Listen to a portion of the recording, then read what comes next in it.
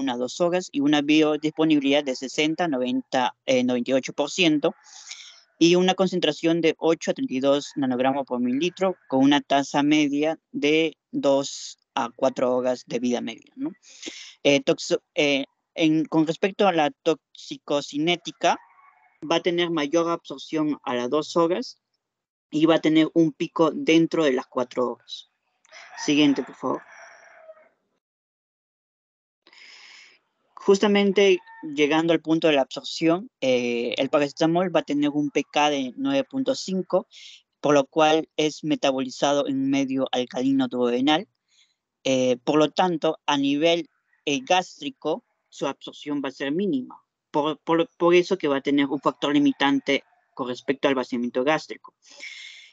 justamente el paracetamol se realiza mediante un no ionizado y principalmente absorbido por difusión no iónica. En su biodisponibilidad tiene una biogal de 63 a 89%. Y bueno, esto va, eh, va, a ser variable dependiendo a su presentación, ya sea en cápsulas, en líquido, en jarabes, ¿no? En gotas, etc. Bueno, el paracetamol efervescente y líquido son absorbidos más rápidamente y bueno, va a tener una concentración pico en 30 minutos en líquido y 45 a 60 minutos de ingesta oral en tabletas. Siguiente. Con respecto a la vía rectal, su biodisponibilidad es de 24 al 98% y por vía endovenosa, que es mucho más rápida y tiene mayor biodisponibilidad, en la cual consigue picos más rápidos y altos que las otras vías. ¿no? Variaciones, esto va a depender a la edad del paciente pediátrico, más que nada eh, en pacientes menores a seis meses, eh, bueno, y también en neonatos, ya que su absorción va a demorar, ya que ellos presentan un menor vaciamiento gástrico, como lo había mencionado en un principio, ¿no? Su absorción logra equiparse a nivel del adulto a los 6 a 8 meses de edad. Siguiente. Eh, con respecto a su distribución, tiene una unión con proteínas a unión baja de un 10 a 20, a 25% y bueno, en neonatos el volumen de distribución es mayor por la composición corporal y porque el paracetamol también es hidrosoluble, ¿no? Y los valores de distribución equiparables al adulto se logran a los seis meses. Con respecto a su penetrancia, el paracetamol pasa al líquido cefalorraquídeo, penetra la placenta y también es excretado en leche materna con un 1.85% de dosis materna oral. Siguiente.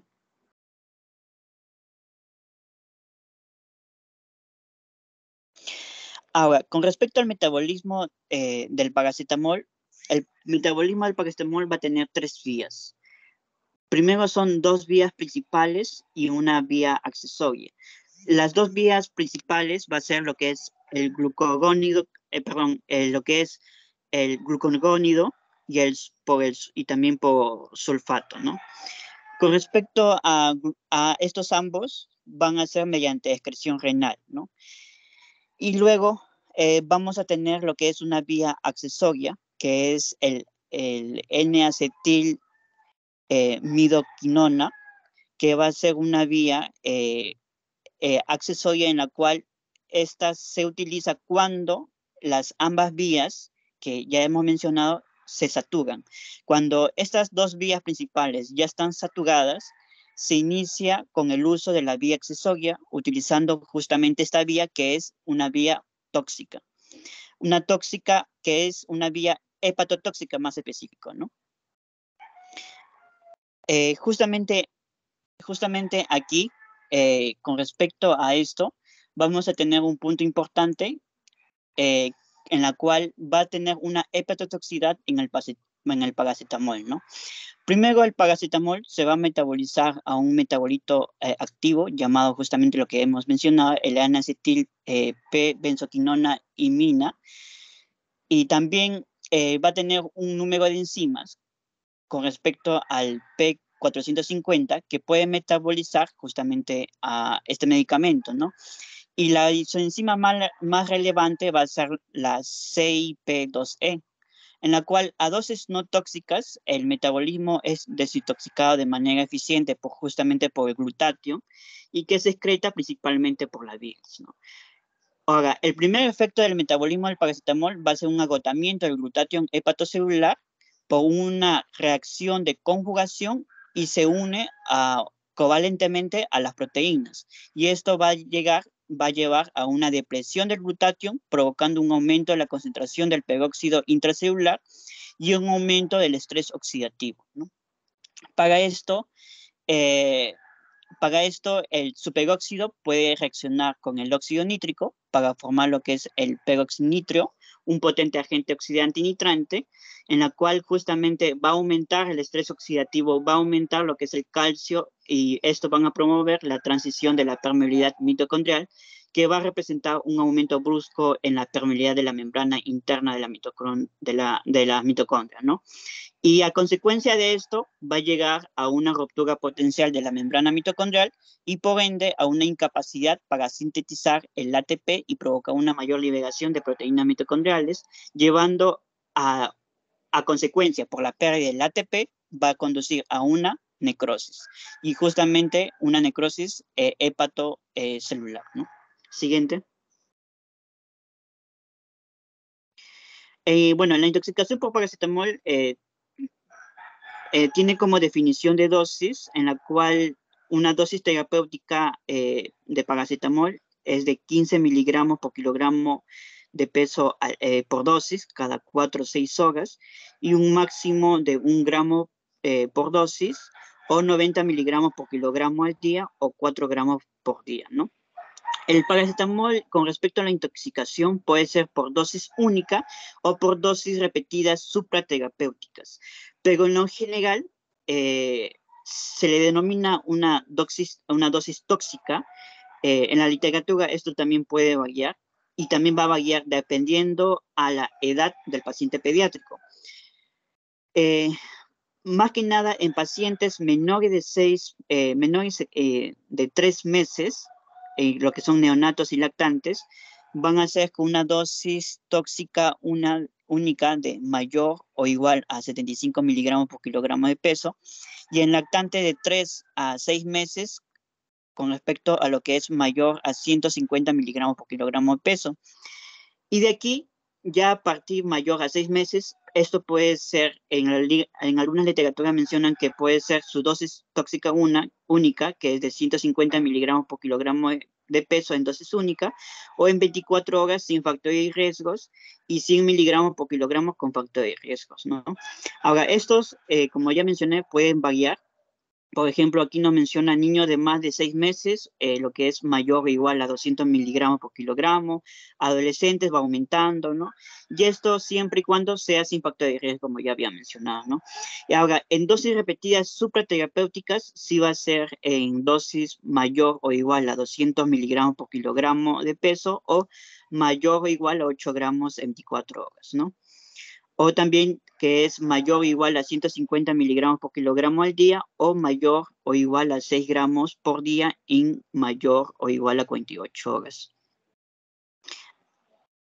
Eh, y mayor o igual a 100 miligramos por kilogramo al día en, en mayor o igual a 72 horas en menores de 6 años. Siguiente.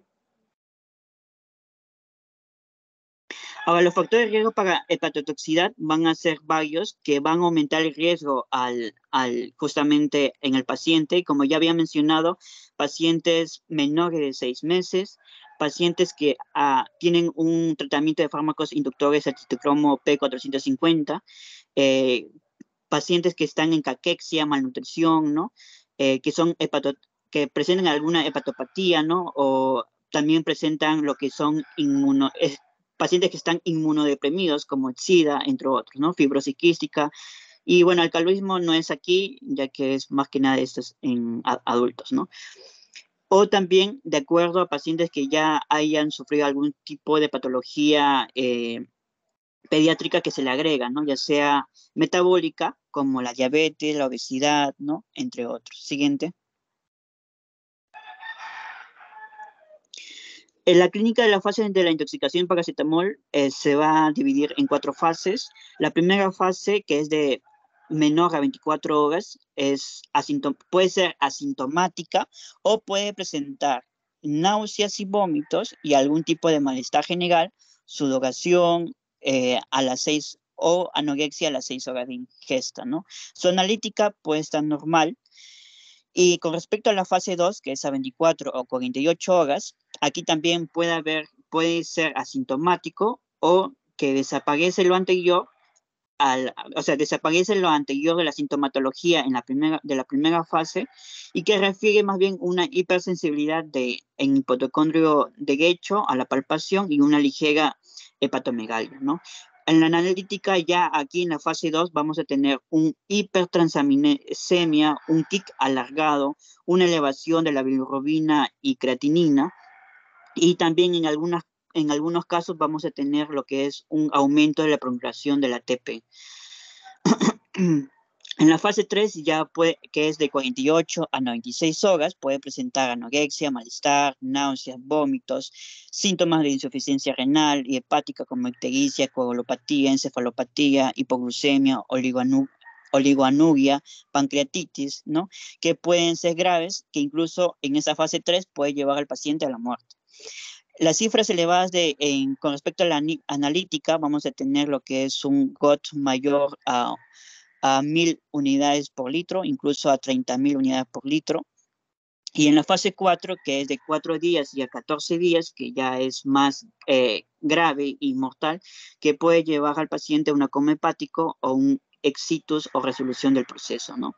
Que continúa con la alteración o normalización analítica en semanas y, un, y una anatomopatología en tres meses. Con respecto a cuando ya llegamos a una fase 4, ya va a haber una, eh, eh, un fallo hepático, por lo tanto, lo más probable al tratamiento va a ser lo que es un trasplante hepático, si es que se puede lograr al paciente salvar, ¿no? Siguiente. Con respecto a la, eh, al manejo, primero en emergencias no va a llegar el paciente por intoxicación al por paracetamol, en la cual aquí lo primero que tenemos que realizar es la valoración pediátrica, ¿no? Como ya hemos visto en anteriormente, ahí tenemos que ver la apariencia, el trabajo respiratorio, la circulación, para nosotros poder valorar la prioridad eh, del paciente y poder hacer, el, para poder actuar eh, instantáneamente, ¿no? De acuerdo a su gravedad. Para ello, vamos a listar datos necesarios a recoger la anamnesis, eh, la sustancia implicada, obviamente aquí tiene que descartarse que el paciente haya, haya consumido el paracetamol, la forma de presentación que se haya consumido, si es tabletas, eh, gotas o si es en, mayormente en jarabes, ¿no?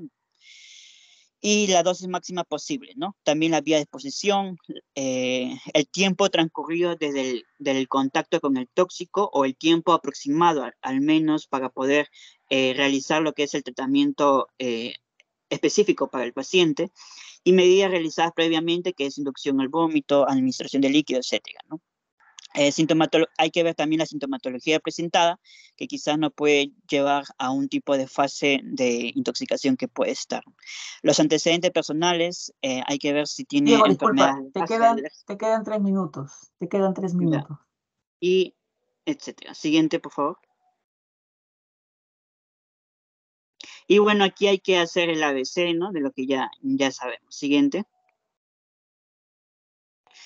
En el diagnóstico, lo primero que tenemos que hacer es evaluar el hemograma, coagulación bioquímica, transaminasas, ¿no? Y eh, observar los niveles de paracetamol en sangre mediante lo que es el nomograma de Rumac-Matthew, ¿no?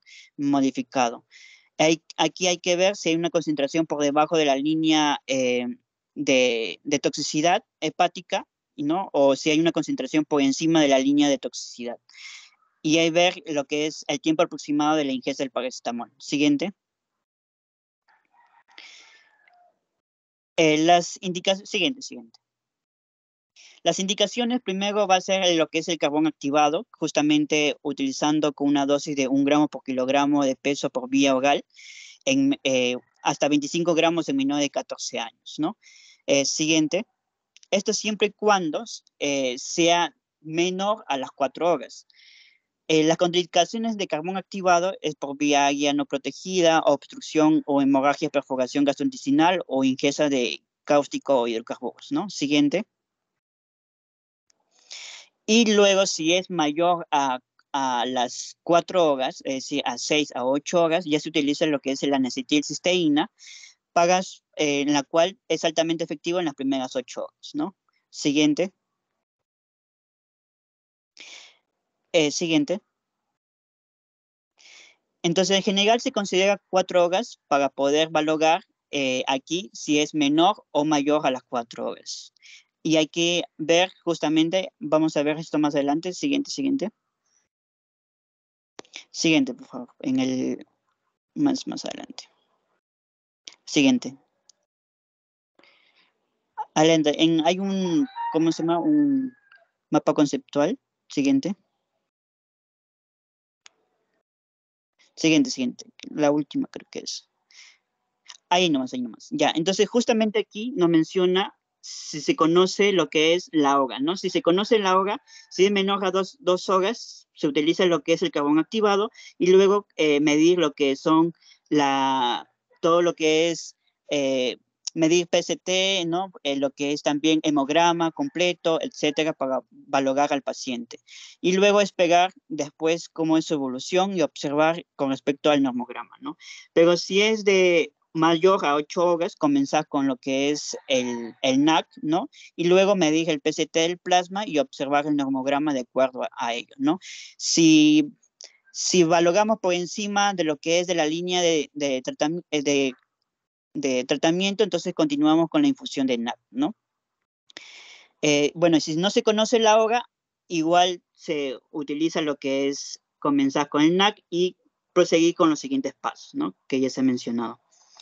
En cambio, si la ingestión de dosis repetidas son supraterapéuticas, como lo que ya había mencionado a un principio, y si se cumplen los criterios, hay que medir lo que es el PCT en plasma y lo que son las transaminasas, en, eh, lo que es en hemograma, hemograma completo, y aquí va a lograr lo que es PCT menor a 20 miligramos por litro o el ALT eh, menor a 50 eh, unidades por litro, ¿no?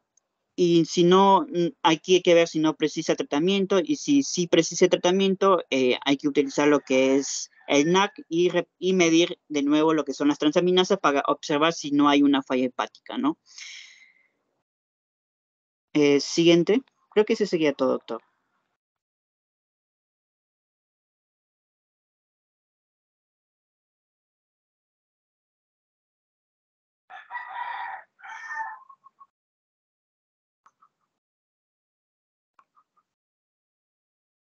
Doctor. Con el audio apagado, disculpen. Eh, bien, Diego. Eh, al grupo, a los otros integrantes del grupo o cualquiera, alumno, algún comentario, aporte con respecto al tema. Mm, doctor Rayleigh Pimentel Sánchez. Rayleigh no sé si me lo escuchado. Sí, sí, doctor, sí, se escucha, le escucho. Sí, Sí, doctor, este, aparte de lo que ha agregado el compañero, yo creo que debemos recordar también que el paracetamol, eh, ¿cuál es el problema del paracetamol? Que agota nuestras reservas de glutatión. El glutatión nosotros lo utilizábamos como un antioxidante que frente a, ataques virales, a distintas enfermedades inflamatorias que elevan el estrés oxidativo, el glutatión busca reponerlo y estabilizarlo. Pero el, el paracetamol con su formación de radicales libres eh, tiende a limitar la cantidad de glutatión hepático, ¿no?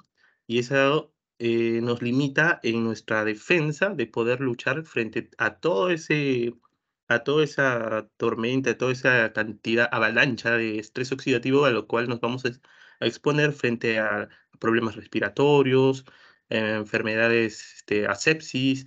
Entonces, eh, lo que se estaba haciendo, al menos durante la pandemia en algunos lugares, era que limitaban su uso de paracetamol y usaban metamizol a bajas concentraciones en casos de enfermedades febriles. Eso me parecía interesante también poder este, ver que el paracetamol también se debería limitar. Por ejemplo, si nosotros vamos a la farmacia, nos podrían vender paracetamol en grandes cantidades y nadie diría nada porque es un medicamento muy común, muy usado, ¿no? Pero nadie lo ha fiscalizado a ciencia cierta. Y como el compañero ha mostrado en las vías metabólicas, en la fisiología de cómo actúa sobre el hígado, se ve la presencia de sus radicales. Eso quería comentar, doctor. Gracias. Claro, es cierto lo que tú comentas, pues, ¿no? O sea, eh, el, el paracetamol es el analgésico, el antipirético que ustedes más, más van a recomendar. es la verdad, ustedes cuando vayan a su salud van a tener su farmacia ahí en su, en su centro de, salud, posta, hospital donde trabajen. Y el paracetamol, el ibuprofeno, ¿no? Este, va a ser de los medicamentos que ustedes más van a indicar a los pacientes. ¿Ya? Entonces hay que hacer un buen uso, ¿no? un uso racional siempre, con todos los medicamentos. No hay medicamento que, que, no sea totalmente inocuo. El medicamento, el fármaco en este caso, tiene un objetivo, pero también todo medicamento tiene un efecto adverso según la dosis que uno tome. ¿no? Es, es, tienen que tener presente eso. Pregunto, Diego, eh, o al grupo, Diego no, al grupo. ¿Cuáles son las presentaciones del paracetamol que hay en el mercado? ¿Quién me puede decir del grupo? Doctor. ¿Nombre? Soy Ramírez Rivera Brian Aldo. Ya, Brian, te escucho. ¿Qué presentaciones hay del paracetamol? En vía oral y endovenoso. Ya, me refiero a las concentraciones. ¿A las concentraciones pediátricas? No, no, este, la vía oral, ustedes saben que, que pastillas, todos tomamos pastillas a una vez paracetamol, pero para niños también hay jarabe y hay gotas, paracetamol. En el ambiente hospitalario, ustedes cuando yo trabajé en un hospital, también hay paracetamol endovenoso. Preguntaba, ¿cuáles son las, las concentraciones que vienen? En gotas, en jarabe, en endovenoso que tú has dicho. Bueno, en, en endovenoso es un gramo de 100 mililitros. En, en jarabe. Y en jarabe la presentación hay variadas, ¿no? Hay de, en jarabe de 120 mililitros, que bueno, concentración de 120 miligramos en 5 mililitros aproximadamente. ¿En gotas? Mm, bueno, en gotas. Mm, no, no, no recuerdo mucho, doctor, pero. Bien, bien, Brian. 100 miligramos por mililitro, doctor. ¿Cómo? 100 miligramos por mililitro en gotas. 100 miligramos por litro. Entonces, ustedes tienen, chicos, si es uno de los medicamentos que más van a utilizar cuando vayan a su salud o trabajen ya en un hospital, y vean niños, ¿no? vean niños, tienen que saber las presentaciones, ¿ya? Ustedes se preguntarán, ¿cómo un niño se puede intoxicar? ¿No? ¿Cómo un niño pequeño, un lactante pequeñito se puede intoxicar? Generalmente eso es por, por, por les cuento un caso o qué pasó, un caso, este, dos casos les voy a contar. Cómo se intoxicó y todo lo que, ¿no? Era una niñita, una, una pequeñita, ¿ya? que su mamá era enfermera, estaba de guardia, y el papá no era, no era nada de salud, estaba en la noche, se quedó con la pequeña, y la pequeña estuvo haciendo fiebre. Entonces el papá, como no es de salud, eh, tenía las presentaciones en casa de paracetamol en gotas y paracetamol en, en jarabe. Entonces, las concentraciones son diferentes. En gotas es, como sus compañeros, por cada mililitro, o sea, 20 gotas, eh, son 100 miligramos. En jarabe hay dos presentaciones. La que te da el Ministerio de Salud, este, ¿no? el genérico, es 120 miligramos en 5 mililitros. Y la que vendes de marca, el Panadol en jarabe, es 180 miligramos en 5 mililitros. ¿Ya? Eh, ¿Cómo se intoxicó esta pequeña? El papá tenía las dos presentaciones, gotas y jarabe.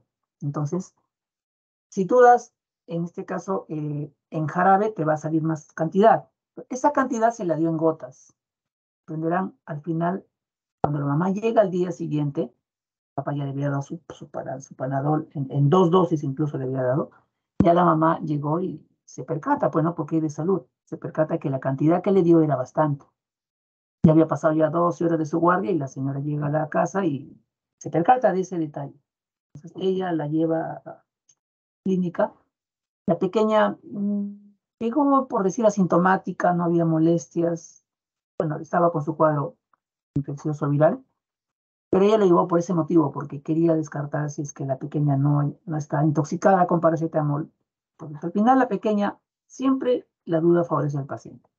Por más que pues, lo ha mencionado Diego, ¿no? Hay fases de la intoxicación de paracetamol. Tú no sabes en qué momento está la niña, en qué fase. Entonces, la pequeña se hospitalizó, se le hizo todas las pruebas, ¿no? Bioquímicas, hepática, perfil de coagulación, todas sus pruebas para ver si, si había algún compromiso, ¿no? y se, se quedó hospitalizada la niña. Se quedó hospitalizada. Eh, no se le hizo ese dosaje de paracetamol, por lo menos en la clínica donde estaba la niña, no se hacía ese examen. Entonces, pero ante la duda se le dio el tratamiento. ¿Cuál es el antídoto? Pregunto al grupo. ¿Cuál es el antídoto? La N-acetilcisteína. La N-acetilcisteína. Se le puso a la pequeña la N-acetilcisteína por vía endovenosa. Quedó hospitalizada en observación, se hizo sus controles nuevamente de transaminasas, ¿no? Función renal, todas las bioquímicas parísticas. Felizmente la pequeña no, no hizo, no, elevó transaminasas, no hizo, y clínicamente tampoco fue a más. Pero la duda, ¿no? Si la mamá no lo llevaba y por ahí, por desconocimiento, este, si la niña se intoxicación, ese es el problema, porque un niño que se intoxica con paracetamol, no sé si lo dijo Diego, pueden incluso acabar con falla hepática, con necesidad de trasplante de hígado. Imagínense ese contexto, ¿no? Que tan difícil solo por, por ese descuido del papá, ¿no? Obviamente fue, no, pues interés. Entonces, felizmente la niña tuvo una buena evolución, salió de alta de la UCI y bueno, fue de alta de la clínica. Eso fue un caso. Otro caso pasó en la clínica, también ya un niño hospitalizado con paracetamol endovenoso. Eh, ¿Qué pasó? Endovenoso hay dos presentaciones, uno de 500, 500 miligramos endovenoso y hay otro, como dice tu compañero, un gramo.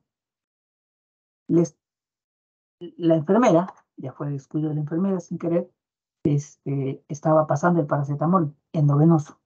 Como era una niña pequeña, le corresponde pequeñas cantidades, según su peso. ¿no? Y como estaba vomitando y todo, le puso paracetamol endovenoso. ¿Qué pasó? Pasaron las horas y la enfermera cuando va a ver ya había pasado casi todo el frasco. ¿No? O sea, creo que era de, no me acuerdo si era de 500 o de un gramo, pero ya había pasado casi todo el frasco de paracetamol. Por ahí la enfermera lo comenta y la mamá lo escucha.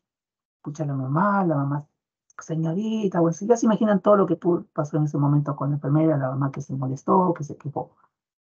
Entonces, eh, igual la paciente se hizo los exámenes, esta pequeña felizmente tampoco se complicó, pero ya, pues así, de esa forma, y en la realidad puede pasar una intoxicación. Ustedes tienen, tienen que tener cuidado. Cuando dé las indicaciones al papá, a la mamá, el paracetamol, si es en gotas, tantas gotas, si es posible en un papelito le escriben tanta cantidad, le vas a dar cada seis horas, cada ocho horas. Si es un paciente hospitalizado, la enfermera también tiene que tener, pero uno siempre tiene que indicar, señorita, la indicación es tal, es tal y tiene que pasar. Felizmente en esos dos casos no pasó nada, eh, nada malo con los pacientes. Luego llegó una niña grande, me acuerdo, no sé mucho. Eso ya fue intento de suicidio. ¿Ya? Niña con componente psiquiátrico y se había tomado varias pastillas de paracetamol. Llegó a la clínica, se le hizo todas sus pruebas, felizmente también, bueno, se le puso el antídoto, ¿no? La acetilcisteína, eh, pero felizmente no hizo tampoco complicaciones, pero ya, bueno, o sea, a los papás se les, se les explicó que como tenían componente ya psiquiátrico la pequeña, la, la adolescente era, tienen que tener todas las medicinas lejos de, y así pueden pasar las intoxicaciones. Entonces no se olviden, en lo que es intoxicaciones, lo mejor es prevenir. A los niños pequeños, si algunos de ustedes tienen niños pequeños, todas las cosas fuera de su alcance. Ellos se lo pueden tomar sin querer y de esa forma también se pueden intoxicar. ¿Ya? No se olviden prevención. ¿Algún otro comentario para ir a la segunda ponencia? Del grupo. Solo han, solo han opinado dos, ¿ah? Aparte de Diego que es pues. Doctor. Doctor. Eh, por favor, otras personas, porque tienen que participar todos, por favor. Doctor, no lo había escuchado muy bien su pregunta, se entrecortó en... Eh, no, yo estoy pidiendo aportes, aportes, comentarios del tema de los alumnos del grupo. Doctor, ¿se bueno, ¿me escucha?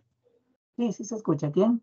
Eh, eh, yo, eh, Miguel Ángel Pérez, doctor. Ya, Miguel Ángel, te escucho, Miguel Ángel. Sí, sí, doctor. Justo ayer estaba viendo un artículo y creo que sería bueno recalcarlo porque vamos a estar eh, ya en un tiempo en el CERUM, vamos a estar en el internado y justo salió un artículo donde se hablará también de la estadística de esta intoxicación por paracetamol y por qué es muy alto acá eh, en el Perú o bueno, acá en Lima también, o en, es porque, porque eh, no, hay no hay que olvidarnos que acá en el, en el Perú la, la, la, venta del paracetamol es libre, o sea, cualquiera puede ir a una botica, cualquiera puede ir a una farmacia, puede pedir hasta para, por ejemplo, ¿no? Tienen su hijo, tienen un niño, está con fiebre, van van a pedir, eh, eh, van a la farmacia, le dan eh, paracetamol, por ejemplo, en gotas o le dan en jarabe y lógicamente se pueden pasar la dosis o simplemente la falta de promoción o prevención. Creo que eso que comento es importante porque ayer viendo el artículo sale que una de las factores de riesgo para intoxicación de paracetamol en niños es la falta de prevención y promoción del uso y la venta libre que hay de este medicamento a nivel nacional. Eso sería, bueno, un comentario porque creo que es importante entender también el por qué hay tanto o por qué seguimos encontrando esa intoxicación por paracetamol. Claro, por eso hay lugares en otros países donde cualquier medicamento, receta, receta, receta, ¿no? Acá te piden para los medicamentos especiales, ¿no? Te piden receta, pero paracetamol, cualquiera va a la farmacia y puede comprar. Ya, bien, bien. ¿Alguien más? Doctor, ¿No? ¿se me escucha? Buenas tardes. Sí, sí, doctora. Este, ah, tu, eh, tu, nombre, por favor. Eh, Mayumi Ñaña Reyes, doctor. Mayumi, ya, te escucho, Mayumi. Quería hacer este, doctor, hincapié sobre todo para poder nosotros hacer un diagnóstico diferencial con otras eh, patologías o, o causas que pueden llegar a generar, sobre todo las que, que lleguen a afectar directamente al hígado, ¿no? Por ejemplo, se pueden llegar a producir también intoxicaciones con otros medicamentos que puede ser, por ejemplo, el ácido valproico, o también eh, muy relacionadas la afectación del hígado con algunas eh, enfermedades que pueden llegar a desarrollar una falla hepática directamente, ya puedan ser metabólicas o infecciosas, que se pueden llegar a presentar, ¿no? Ya que estos con el tiempo pueden llegar a generar eh, la afectación del hígado y sería también muy, muy importante considerarlo. Y sobre todo si es en niños pequeños, ¿no? Claro, Sí, es cierto lo que usted dice, doctora, ¿no? Eh, ustedes saben que hay niñitos que tienen alguna comorbilidad, ¿no? igual van al médico para que lo evalúen. Entonces, si es un niño, por ejemplo, con una epilepsia, ¿no? Que convulsiona y toma un medicamento como el ácido valproico o la carbamazepina, este, fenitoína, ¿no? Vía oral, vía oral. Entonces, esos pequeños ya están ya predispuestos, ya su hígado con tanta medicación que toman para las convulsiones, no es como un niño que es previamente sano, ¿no? Eh, entonces, son niños en los cuales hay que tener cuidado. Paciente que, toma alguna medicación, ustedes siempre pregunten si toma, ha tomado algún medicamento o, está tomando, entonces hay que tener cuidado, pues, ¿no? Porque ya ese hígado está predispuesto a, si en caso toma unas cantidades excesivas de, de paracetamol, a que haga alguna complicación, pues, ¿no? Son más, más propensos a hacer fallas hepáticas. Ya. Bueno, continuamos. Continuamos con el segundo tema. El segundo tema, ¿quién va a exponer?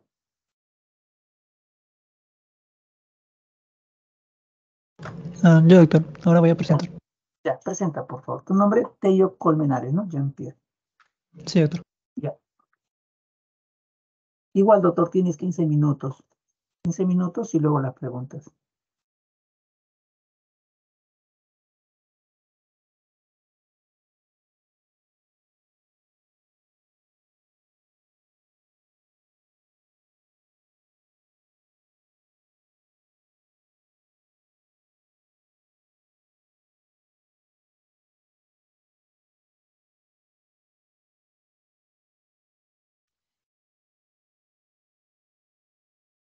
¿Se logra ver, doctor? Sí, sí se ve, doctor, se ve. Ya podemos empezar. Gracias. Bien, ahora vamos a hablar de lo que son la, lo que es intoxicación por órganos fosforados y también la intoxicación por carbamatos. Eh, vamos a empezar con lo que son los órganos fosforados y vamos a ver el concepto. Entonces, básicamente esto tiene que ver con eh, fisiopatológicamente cómo es que estos órganos fosforados van a alterar el, en sí la sinapsis nerviosa. Eh, primeramente, eh, hay que recordar este, eh, que para que estas sinapsis nerviosas, en, en, medida de los neurotransmisores, van a necesitar siempre un reciclaje, es decir, que no debe haber siempre una gran cantidad excesiva de este neurotransmisor, en este caso acetilcolina, y para esto se va a encargar una enzima, se llama la acetilcolinesterasa. Entonces, esto es importante porque siempre tiene que estar reciclando y midiendo su, gran, su cantidad en el espacio este, intersináptico. Entonces, cuando esta se altera, este, va a haber una gran cantidad de estos neurotransmisores de acetilcolina y por lo cual va a tener una hiperestimulación de la misma. Eh, entonces, ¿qué hacen los órganos fosforados? Van a inhibir a esta enzima encargada de reciclar esta acetilcolina, ¿no? Va a inhibir acetilcolinesterasa. Si esto pasa, entonces todo, todos los, los neurotransmisores de acetilcolina van a hiperestimular y van a dar esa, la clínica característica de una hiperestimulación por acetilcolina, que vamos a ver más adelante. Entonces, una vez que ya se alteró esa acetilcolina, ¿no? como habíamos mencionado, eh, va a provocar este exceso de actividad colinérgica y eh, va a dar una sintomatología al inicio eh, periférica eh, y autonómica y más adelante central, como ya veremos en la clínica.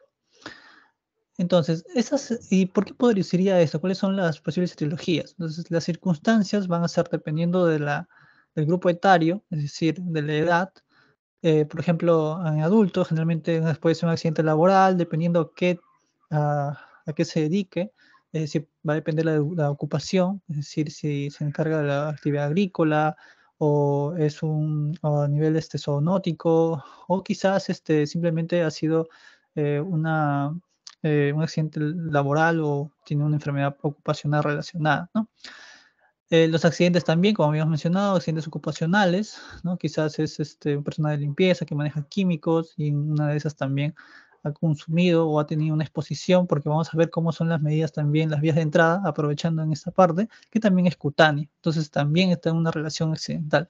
Y voluntaria, generalmente esto es la población adolescente, en el cual este, busca autolesionarse, eh, y ese es, por ejemplo, el, suicidio, y el consumo de, esta, eh, de estos órganos fosforados, que vamos a ver dónde se encuentran también, van a ser este, comunes, por el libre acceso que tenemos en nuestro medio, ¿no? Y generalmente esa es la, por la parte digestiva, y vamos a ver también la sintomatología de la misma. Entonces, las vías de entrada van a ser eh, la aérea y la digestiva. Eh, eh, recordemos que entre la digestiva y aérea son las más frecuentes, las cutáneas también se pueden ser afectadas, en menor medida la sintomatología vamos a ver que es menor, y también incluso parenteral, ¿no? Ya este es un poco más este, específico. Bien, ahora respecto a la clínica, habíamos mencionado que hay una gran cantidad de estimulación colinérgica porque hay mucha acetilcolina. El cuadro clínico va a comenzar apenas consumimos más o menos estos órganos fosforados, un, un promedio de media hora a dos horas. Entonces es casi inmediato. ¿No? Entonces va a depender, sí, de la vía de entrada, ¿no? También va a depender de la dosis y el tipo de órgano fosforado. Vamos a ver que las concentraciones de órganos fosforados no siempre va a ser la misma dependiendo de las presentaciones que se consumen y también la susceptibilidad individual, y eso ya es parte idiopática, ¿no? Eh, perdón, idiosincrática. Entonces, la dosis peligrosa nos va a decir que oscila entre 0.1 y 5 gramos según el compuesto que hemos mencionado. Entonces, hay que recordar ese punto, ¿no? Hasta de 0.1 a 5 gramos, es decir, una dosis ínfima de 0.1 nos, va, nos puede producir eso. Entonces, ¿cómo va a ser la clínica? Se divide en tres. Va a iniciar inmediatamente con un síndrome colinérgico, seguido de un síndrome intermedio y por último la neuropatía retardada. La primera, el síndrome colinérgico, esta es por sobreestimulación colinérgica, ¿ya? y va a prevalecer los síntomas muscarínicos y nicotínicos. Recordemos que estos son los receptores que van a estar muy relacionados o que van a recibir la acetilcolina, ¿no? Y entonces estas se van a alterar en un orden específico más característico, pero no siempre, que es el orden así. Primero el muscarínico y después el nicotínico. Entonces, ¿qué van a, funciones van a tener eh, los receptores muscarínicos? lo que es la miosis, o eso es, lo más característico. Vamos a ver un, paciente miótico, eh, vamos a tener que hay una hipersecreción bronquial, tos, broncoespasmo, la sudoración, la diaforesis, el lagrimeo, la, aumento de secreciones como rinorrea, náuseas, vómitos, y otra de las características importantes es la incontinencia urinaria y fecal. Los pacientes no la, eh, van a perder esa contención, más que todo fecal, y también ya más adelante se va a ver bradicardia y hipertensión arterial, que son un poco más, más alejados, ¿no? Pero es lo primero que se va a ver es la miosis, las hipersecreciones, la sudoración y la incontinencia. Después vamos a pasar al síndrome nicotínico, que esta tiene que ver mucho con el nivel muscular. Entonces van a aparecer fasciculaciones, calambres musculares, debilidad, parestesias, ¿no? más adelante ya incluso hiper- eh, hiperglucemia, palidez, mioclonía, ¿no? Y después se va a afectar el sistema nervioso central, que, el paciente puede permitir una cefalea o una alteración del estado de conciencia o de despierto, como confusión, ¿no? Incluso va a tener esta alteración en el periodo de memoria, incluso hasta psicosis se, se reporta, ¿no? Entonces, todos estos van a ir en ese momento. Entonces, primero vamos a ver que son alteraciones muscarínicas, después nicotínicas y después el sistema nervioso central. Acá un punto para diferenciar es que más adelante en los carbomatos vamos a ver que esta afectación del, del sistema nervioso central es más frecuente o básicamente casi eh, muy diferencial de los órganos fosforados y no de los carbomatos. ¿Ya? El siguiente es el síndrome intermedio, esto afectará generalmente al día después, en 24 horas o hasta 96 horas, y esto se va, a, eh, se va a manifestar por debilidad y parálisis de los músculos respiratorios. Es decir, aquí ya una gravedad mayor porque ya los músculos respiratorios están implicados. Por lo tanto, hay un peligro de que haya un síndrome de- de dificultad respiratoria e incluso puede ser apnea y peligro de la muerte. También va a ser lo que alterar los eh, músculos proximales de extremidades. Esto es importante diferenciar para otros tipos de patologías que se van a alterar las, las partes proximales, ¿no? las faciales, es decir, lo- de parte central hacia, eh, hacia distal. ¿no? Y ya aquí cesan los síntomas colinérgicos. Eso también es importante. O sea, primero eh, inicia con colinérgico y después con, eh, con muscular, ¿no? por los receptores eh, nicotínicos. Y por último, la neuropatía retardada, que eso ya aparece más de las dos semanas, eso es poco, o sea, es más crónico, no se suele ver en, esa parte, donde ya se va a afectar eh, la parte de la mus- musculatura, la parte nerviosa, es decir, una hiperreflexia, una atrofia de lo que es la parte distales del cuerpo. Ahora, ¿cuáles son los criterios de gravedad? Nos dividen entre 0 a grado 4, Siendo grado 0 no intoxicación, y grado 1 una intoxicación leve. Aquí solamente vamos a ver los síntomas irritativos dependiendo en qué vía se consumió. Y vamos a ver un síndrome muscarínico incompleto en el que se caracteriza solamente por el sintomatología muscarínica, ¿no? Como habíamos mencionado, miosis, es, eh, incontinencia. En la grado 2, intoxicación moderada, aquí vamos a ver los muscarínicos nicotínicos, o sea, acá se agrega la afectación muscular. En la intoxi- intoxicación grave, vamos a ver que se asocia un compromiso ya a eh, parte del sistema nervioso que habíamos mencionado, ya aquí hay trastorno del estado de, de- de- de despierto, ¿no? Vamos a ver que cefalea, confusión, ansiedad, insomnio, ¿no? Y por último, ya el grado 4 que, que puede llegar cuando puede hacer una apnea, una muerte, ¿no? Ahora vamos a hablar de los carbamatos. Entonces, eh, estos carbamatos son esteres derivados del ácido N-metil o dimetil ca- carbámico.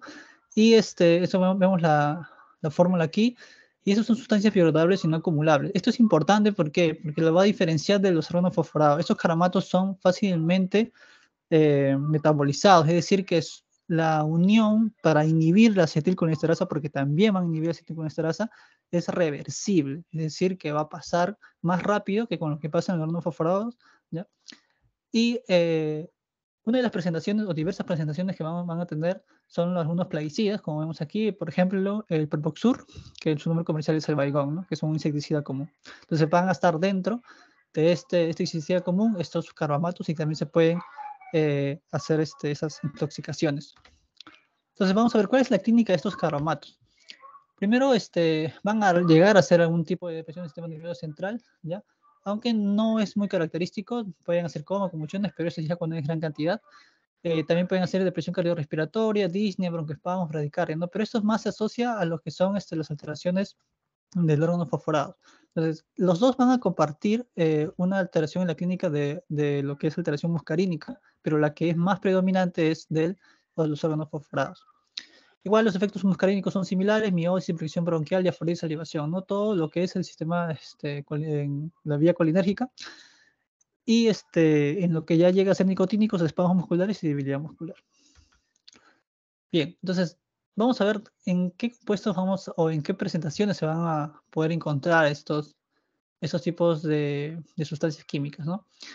Primero vamos a ver lo que es el metilcarbamil o hidroxicumonamina. Es un carbamato y una rodenticida. Es decir, desde aquí vamos a ver que los carbamatos no solamente van a ser en proporción o, o van a estar dentro en mayor medida que otros compuestos. En, en contrario, generalmente los carbamatos son en menor medida y se usan otros compuestos aditivos para que eh, se vea la presentación o también para eh, prevenir el consumo, como vamos a ver ahorita.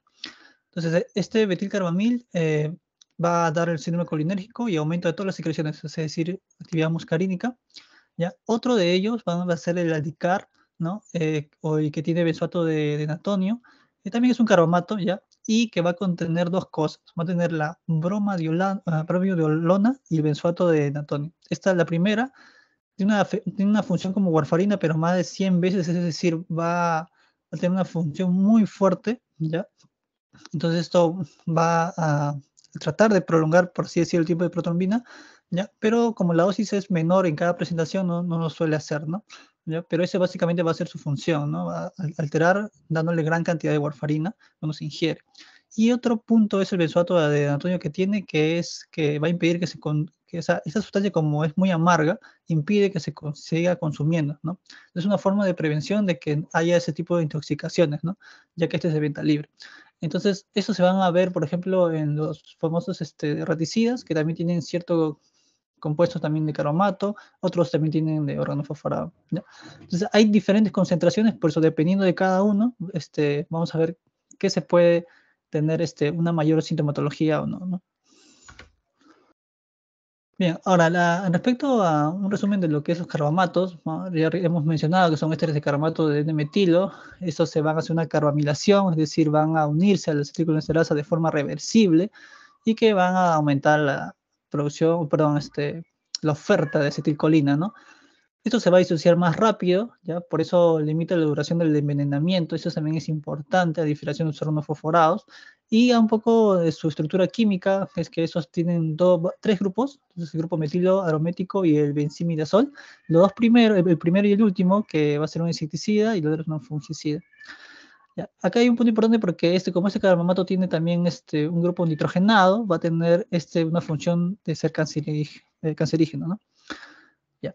En la absorción y eliminación, al igual que los órganos fosforados son similares, se puede por inhalación, ingestión y este, por lo que es eh, por subcutánea, una penetración en la piel, pero eso es menos tóxico que los dos anteriores. Y la excreción se hace por el riñón y se metaboliza por el hígado. ¿no? Ya. ¿Cómo se hace el diagnóstico? Entonces, el diagnóstico se hace eh, mediante una historia clínica y disposición al tóxico, es decir, los antecedentes son muy importantes. Doctor, le quedan tres minutos. Le quedan tres minutos. Sí, mm, ya. Entonces, se hace mediante los antecedentes y entre la sintomatología clínica y, y dolor característico, ¿no? Generalmente, eh, una paciente que tenga adolescente, que depende del grupo etario, vamos a nosotros tener esos antecedentes. También las operaciones complementarias y la mejoría de los síntomas generalmente se inicia con la administración de atropina, ¿no? que va a ser un, un, eh, competidor de los receptores de eh, muscarínicos.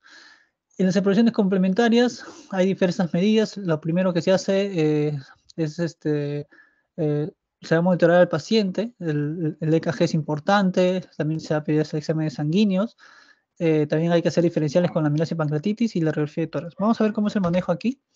La, la eliminación, primero, que se hace eliminación inmediata, es, eh, o sea, no debemos esperar que se confirme en el laboratorio, sino vamos a hacer una monitorización cardiopulmonar mediante el EKG.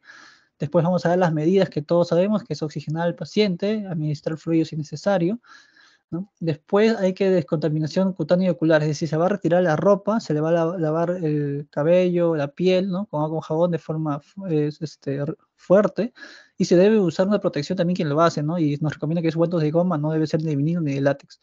Y, y, cuando hacemos la descontaminación gastrointestinal, esto ha cambiado, nos dicen que puede ser o no, depende de qué cosa. El lavado gástrico va a depender eh, si es a la hora del consumo, ¿no? Y si la cantidad de toxina es considerable. El carbón activado también se, se, se utiliza ¿no? para poder eh, eh, contener el, el, el, tóxico. ¿no? Y este, vamos a ver que este lavado gástrico se va mediante la eh, introducción de, generalmente de, de, solución salina por una zona nasogástrica. ¿no? Y también igual el carbón activado. Entonces, lo que se va a hacer primero, una vez el ABC, una solución inicial, ¿no? Vamos a ver esta vía aérea, vamos a ver la circulación y todo lo demás, y se va a iniciar con la administración de atropina. Cuando nosotros tenemos la sospecha que ha sido por un órgano fosforado o de carbamato, ¿no? Ahora, para dar el soporte ventilatorio, si es necesario, se está contraindicado la, el uso de succinilcolina, porque esta relajante eh, es, es, es, es este, metabolizado por la butinilcolinesterasa, que también es inhibida en el órgano entonces no se debe usar. ¿Qué se va a utilizar por un relajante muscular en este caso? El becurón.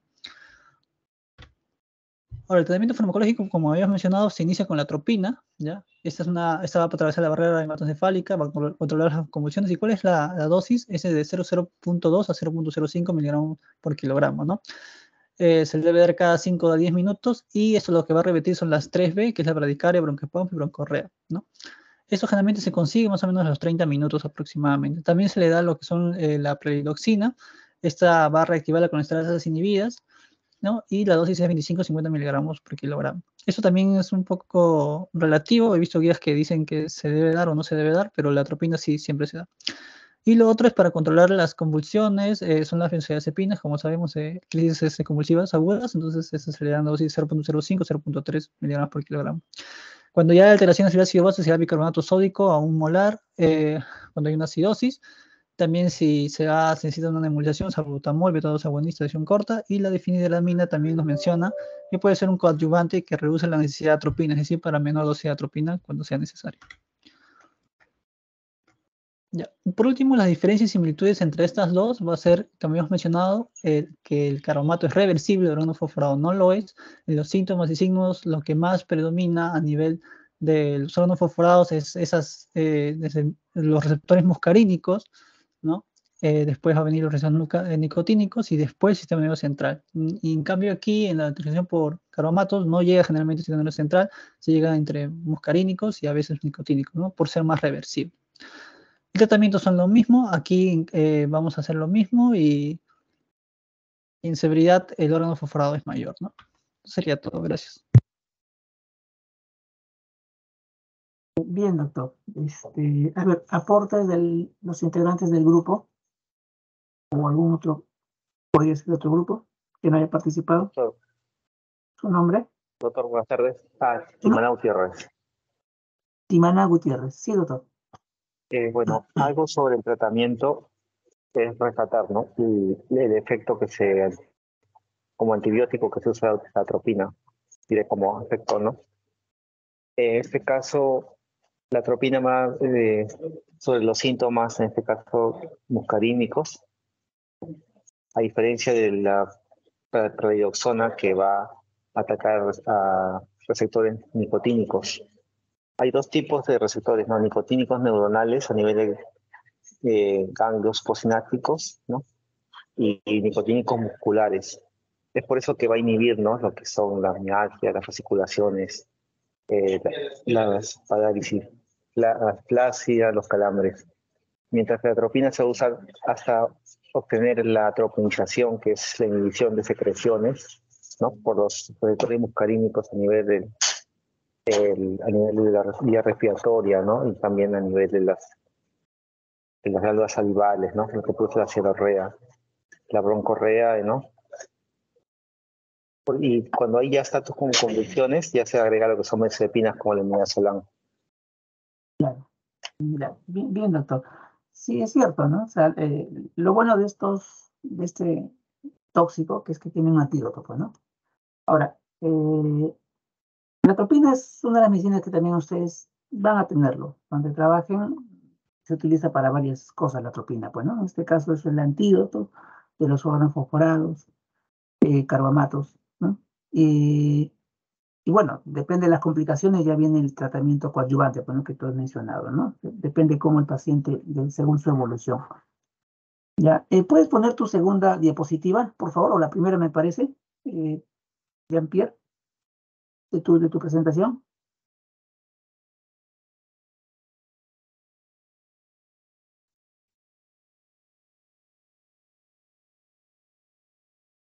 La, esa es. Miren ese, ese dibujito, ¿no? Miren. Ese niño que está. Ahora, ¿no? Las gaseosas, las gaseosas. ¿Cómo se intoxica un niño, no? Acá es prevención, nuevamente, ¿no? La palabra es prevención. Los niños no saben, ¿no? O sea, ven una botellita eh, con un contenido amarillo y, piensan, ¿no? Que es una gaseosa, Inca Cola, Coca-Cola, ¿no? Y ellos, sin querer queriendo, lo pueden ingerir. Es una forma de intoxicarse en los niños, ¿no? Entonces, Lo que se hace ahí, todas las cosas, si es que en casa, porque estos, estos componentes, estos compuestos, estos, este agente tóxico están en las cosas de uso, ¿no? En casa, el doctor lo ha dicho, ¿no? El baigón, los raticidas. Eh, cuando ustedes vayan a su serum, mucha gente va, va a trabajar en el campo, ¿no? En sus insecticidas para, su- para, para sus tierras, sus campos, para sus plantas, lo van a utilizar. Me acuerdo una vez que llegó un, nos pasaron la voz cuando yo estaba haciendo el serum, nos pasaron la voz de un señor que lo había, bueno, el señor tenía problemas judiciales, legales, y bueno, tomó la decisión de, de ingerir el, esto, ¿no? Ingerir estos, este, lo tomó, pasaron la voz sus, sus familiares, los policías, fuimos allá a la casa, no sé, vayan a hacer un, se dan cuenta de que las casas a veces están lejos, pues, ¿no? Entonces, demoramos unos minutos en llegar, y cuando ya llegamos, lamentablemente ya el señor había fallecido, pues. El señor había fallecido. Eh, acá es inmediato, ¿no? ¿En cuánto tiempo demora? Dice 30 minutos, ¿no? Dos horas. Y bueno, también va a depender de la cantidad, pues, ¿no? De la cantidad que uno ingiere. Felizmente los niños con estos componentes tienen un sabor feo, me imagino, ¿no? Según lo descrito. Entonces los niños, eh, como es feo, lo, lo- o lo vomitan, ¿no? O lo escupen, ¿no? En cambio, este señor, como fue algo intencional, sí tomó, tomó cantidad, pues, ¿no? Entonces, al final, cuando llegamos ya había, había fallecido el señor. Solo para comentarle, no puede pasar así, la forma de intoxicarse, ¿no? Y al momento de hacer el manejo, como mencionó su compañero, ¿no? O sea, la absorción puede ser a través de la piel, a través de las mucosas, ¿no? Los ojos, la mucosa oral y por vía inhalatoria. Entonces, cuando ustedes atiendan a un paciente que se intoxica con órganos fosforados carbamatos, protección, mandil, guante, bueno, ahora mascarilla todo el mundo usa, ¿no? Mascarilla, lentes, protectores, guantes. ¿Por qué? Porque ha pasado, cuando se, se atiende a estos pacientes, el paciente va a vomitar, este, la broncorrea, que, que un paciente cuando llega, llega con bastantes secreciones, llega a veces bradicárdico, taquicárdico. Entonces, las pupilas también, sus pupilas, fíjense las pupilas. ¿Cómo están las pupilas, este, Jean-Pierre, en un paciente intoxicado con órganos fosforados? ¿Cómo están las pupilas? Mióticas. Mióticas, ¿no? Entonces, la atropina, ¿qué produce a nivel pupilar?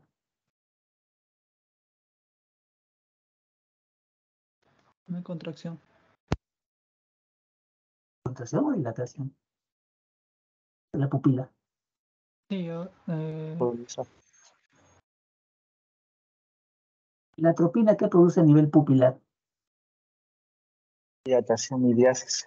dilata, midriasis. Por eso, cuando ustedes atiendan a un paciente con, con intoxicación con órganos fosforados o carbonatos, las pupilas también le va a decir cómo está yendo el paciente. Incluso la, la, recomendación de la, atropina es seguido. Tú le pones, a veces no va a haber efecto, le pones una segunda dosis, una tercera dosis. ¿Y cómo vas a valorar eso? También con las pupilas. Las pupilas van a empezar a, incluso hasta, hasta llegan a la midriasis. Entonces eso te está diciendo de que la atropina está haciendo efecto, aparte de la disminución de la broncorrea, ¿no? el broncoespasmo. Entonces, también tienen que mirar las pupilas cuando evalúan un paciente intoxicado con el órgano fosforado. ¿Ya? ¿Algún aporte más? ¿Otro, por favor, del grupo? ¿Otro compañero? Sí, doctor. ¿Su nombre, doctora? Por favor, no, no lo veo. Santana Romero. Santana, le escucho, doctora. Eh, en la parte de los carbamatos, ¿no? va a haber una unión con estos carbamatos, con los colinérgicos, que se van a unir al músculo liso, ¿no? Es por eso que la sintomatología podemos ver que ha sido a nivel muscular, donde primero lo que ocurre eh, va a ser una contracción y también puede haber una excitación que va a significar un espasmo muscular.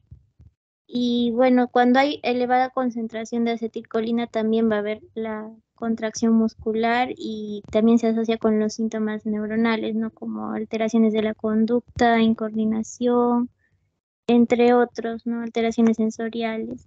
Y recalcar, ¿no? De que había un estudio de que la absorción, este, por absorción de la piel es menos tóxico eh, según este un estudio donde el dosaje de carbamatos eh, en ratas era con una vía oral de 5 miligramos por kilo. Y, bueno, eso, no recalcar que por la piel es menos tóxico. Claro, es, es cierto lo que tú dices, doctora, ¿no? Eh, pero tener en cuenta de que también se puede absorber por la piel. Entonces, cuando ustedes manejen un paciente con esa intoxicación, no se expongan. A veces uno por la premura, el paciente está grave, sin querer queriendo se contamina con las secreciones del paciente. Y se ha visto, se ha visto que el que lo está ayudando al paciente al final, claro, no, no llega, no, no llega al, al, extremo de estar intoxicado, pero ya presenta síntomas, por lo menos leves ya presenta, ¿no? Entonces, eh, va a depender también, pues, ¿no? La cantidad de cómo que es expuesto, pero mejor es estar protegido, estar protegido, ¿ya? Una pregunta. Hablaste del, del lavado gástrico, este, Jean-Pierre. ¿Cuál es el tiempo ideal que, que, se debería hacer el lavado gástrico? Porque el paciente puede llegar, si vive en un sitio lejos, llega, por ejemplo, a las tres horas, no sé, o a la media hora, ¿no? Si vive cerca, o a los minutos. Yo he leído ¿Cuál que es es el tiempo hora. ideal para hacerlo? ¿En qué tiempo tú lo harías o ya no lo harías? Una hora es el punto de corte. Si es más de una hora ya no está indicado. Es más, había leído que era controversial, ¿no? O sea, sí o sí tenía que ser una hora, porque si era más eso ya había pasado ya intestinal y ya no serviría, ¿no? Generalmente, generalmente, este, la mayoría de, de- los medicamentos tóxicos se va a absorber a la hora. Entonces, cuando ustedes lean intoxicaciones en general, no solo para paracetamol, antihistamínico, eh, para cualquier tóxico en general, si se ingiere, ya, luego de una hora generalmente ya se ha absorbido ya la mayor parte, o casi todo, ¿no? En este caso, tóxico. Entonces, eh, la hora es la hora dorada que le dicen, pues, ¿no? del paciente intoxicado, ¿no? Entonces, eh, si ya pasa una hora, ustedes tienen que realmente valorar si van a hacer un lavado gástrico. ¿Qué pasa, por ejemplo, si el paciente intoxicado ya te llega ya todo soporoso, ha vomitado? Entonces, eh, y ustedes le hacen el lavado gástrico. ¿Cuál podría ser el riesgo de, de, de hacer el lavado gástrico en un paciente en ese contexto? Eh, ya soporoso. ¿Cuál sería este Jean-Pierre? Mm, había leído de que cuando se le hace aún que haya pasado ya la hora, eh, puede hacer una aspiración, ¿no? Y puede alterar este, la vía aérea. Claro, una neumonitis, ¿no? una neumonía aspirativa, ¿no? O sea, el paciente llega intoxicado y si, le haces el lavado gástrico, ya el paciente puede aspirarse. Entonces, ya no llega solo intoxicado, llega, o sea, está intoxicado y ya con su neumonía aspirativa. Entonces, con el lavado gástrico tengan siempre ese, ese, ese, ese cuidado. Si es antes de la hora, hagan el lavado. Todavía no se ha absorbido, háganlo. Pero si le dice el doctor ha sido hace dos horas. Entonces, si hay algún antídoto, mejor busquen el antídoto. Y si no hay antídoto, ya ir viendo el manejo, ¿no? Observar al paciente, hidratarlo. eh, si aparece alguna complicación, por ejemplo, convulsiones, anticonvulsivante. Entonces, ya dar el manejo, ¿no? Sintomático de cómo esté el paciente. Eso también ese comentario quería hacerle, ¿no? Entonces, lo que es intoxicaciones, pasada la hora ya el lavado gástrico queda a criterio de cada médico, ¿no? Según cómo vea el paciente. Igual es el carbón activado, ¿no? El carbón activado, si ya llega muchas horas de la intoxicación, ya, no, ya se absorbió ya, o sea, ya, ya, ya no, no hay razón de usarlo. ¿Se entendió esa parte? Sí, doctor. Ya, ya, ok. Bueno, si no hay aporte, continuamos el siguiente grupo, el último grupo. Eh, es por antihistamínicos. ¿Quién va a exponer? Yo, doctor Centeno, ¿se me escucha? Centeno, sí, sí, doctor, Centeno Canchan David. Sí, doctor. Ya, ok, te escucho. Tienes 15 minutos, por favor, ya estamos un poco con el tiempo. 15 minutos. Sí, doctor, está bien. Bien, continuando con la presentación, vamos a hablar acerca de los antihistamínicos. En primer lugar, mencionar, ¿no? Pues el tratamiento para el resfriado común, muchas veces, eh, que es muy común en pacientes pediátricos, a incluir pues, con frecuencia estos fármacos que, que son altamente tóxicos en infancia. Y en ocasiones, pues pueden producir intoxicaciones moderadas hasta graves. Eh, dentro de estos fármacos llamados también anticatarrales tenemos a los antihistamínicos, ¿no? Entre otros como los, los antitusígenos y antimucolíticos. Entonces, centrándonos en los antihistamínicos, vamos a ver que según pues informes de la Asociación Estadounidense de Centros de Control de Envenenamiento, se encontró que los anticatarrales eh, provocan en, aquel país un total de 27 muertes por año en menores de 6 años y 61 en adolescentes entre 13 y 19 años, siendo casi la mitad en este último grupo eh, casos de intento de suicidio, ¿no? Entonces, vamos a ver que ingestiones no intencionadas de medicamentos, incluidos los antihistamínicos, se van a producir en la edad preescolar en, en un 86.1%, que son niños menores de 6 años. Se va a producir también en el domicilio, eh, en un 85.5%, y con un discreto predominio en los varones que en las mujeres, ¿no? Con un poquito más de la mitad, con un 53.5%. La misma institución eh, americana, vamos a ver que ha publicado desde el año dos- dos- 2000 cinco casos mortales en menores de 6 años tras la ingesta de un medicamento anticatarral que, conten- que contenía justamente antihistamínicos, ¿no? Dentro de ellos la clorfeniramina en tres de los cinco casos. En todos estos casos, pues el niño fue hallado en una parada cardiorrespiratoria, que es uno de los estadios más avanzados de una, de una intoxicación por antihistamínicos, ¿no? Esta es una pequeña introducción y ahora sí vamos a hablar eh, de los antihistamínicos. Vamos a comenzar con el mecanismo de acción. Vamos a ver que este fármaco va a basar su acción eh, antagonista competitiva de la histamina por un mecanismo de bloqueo de- del receptor H1. Entonces, como consecuencia de este bloqueo, la histamina no va a tener posibilidad de unión y por lo tanto no va a activar, sino va a ejercer su función alérgica, ¿no? Podemos en el gráfico de aquí a la derecha. Vamos a ver que justamente los antihistamínicos que representan estos, estas figuras verdes van a competir con la histamina y va a bloquear de esa manera sus efectos eh, alérgicos. Entonces tenemos varios tipos de antihistamínicos. En primer lugar tenemos a los antihistamínicos H1 clásicos. Estos justamente van a, eh, van a cumplir con el mecanismo relatado, van a bloquear los receptores H1 en el, en el sistema nervioso central. Y esto va a producir pues cierto grado de sedación. Esto es lo que caracteriza, lo que caracteriza a este grupo de antihistamínicos, los clásicos o H1s, ya que van a poder pasar la, eh, la barrera hematoencefálica y van a bloquear también los, eh, la histamina, que van a ejercer una función de, eh, de neurotransmisor en el cerebro. Y es por eso que este grupo de antihistamínicos causan cierto grado de sedación, causan cierto grado de sueño en el paciente. Y es por eso que eh, son menos específicos.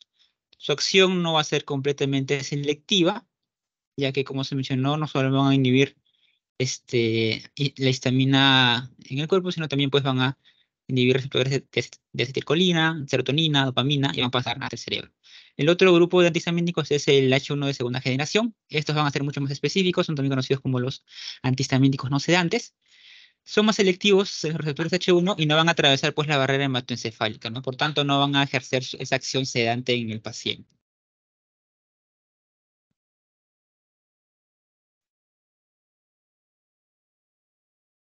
Y por último tenemos los antihistamínicos H2 que van a tener una función en el sistema gastrointestinal.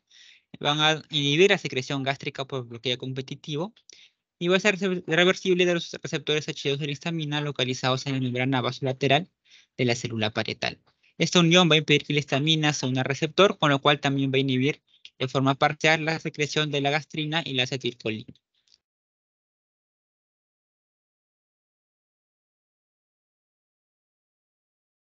En cuanto a la farmacocinética, vamos a ver que en general los antihistamínicos se van a absorber bien tras la ingestión, dando metabolitos activos tras su biotransformación en el hígado. Los efectos van a aparecer a partir de los 15-30 minutos, siendo plenos a la hora, ¿no? Y su pico en el plasma va, a aparecer entre las 1 y 5 horas. Y vamos a ver también a la izquierda que depende del tipo de antihistamínico usado, va a, vamos a ver un tiempo de actuación diferente, ¿no? Por ejemplo, en, las, en la difeni- difenidramina el tiempo de acción es de 4 a 6 horas, eh, la clorfeniramina es de 4 a 6 horas, la cetiricina, que también es otro antihistamínico conocido, va, eh, van a ser de 12 horas y así cada uno de ellos, ¿no? Eh, ahora, en cuanto a la dosis tóxica, vamos a ver que eso va a ser generalmente cuatro veces de la dosis terapéutica. Es por eso que es imprescindible conocer las dosis, las dosis terapéuticas de cada eh, fármaco antihistamínico utilizado, ya que dependiendo de esa, esa, dosis, vamos a poder calcular si es que el, el paciente está intoxicado o no. Esto vamos a, a, realizarlo multiplicando pues la dosis normal por 4 y si la, el niño o la niña eh, ha consumido más de esta cantidad, pues vamos a estar en un caso de, eh, de intoxicación, ¿no?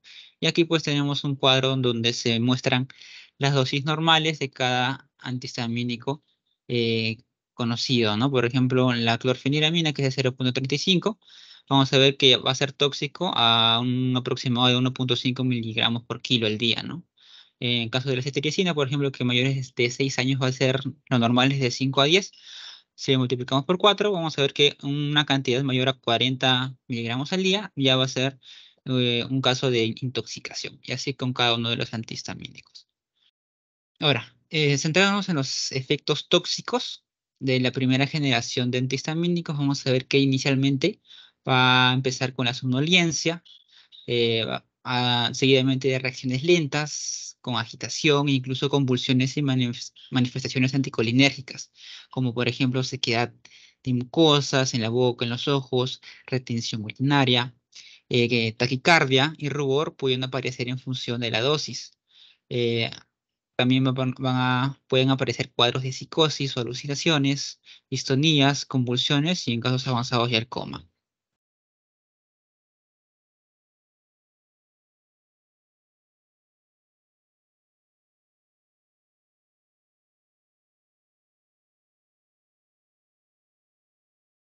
Ahora, eh, no es raro también observar arritmias cardíacas y prolongación del intervalo QT en, niños intoxicados. Eh, justamente esto también va a ser un, punto importante a tratar en el tratamiento de intoxicación, ¿no? La, las arritmias cardíacas. Y por último, tenemos la difenidramina, que puede dar clínica grave de toxicidad en dosis por encima de 7.5 miligramos por kilo, por lo cual los pacientes deben ser valorados en el centro hospitalario, ¿no?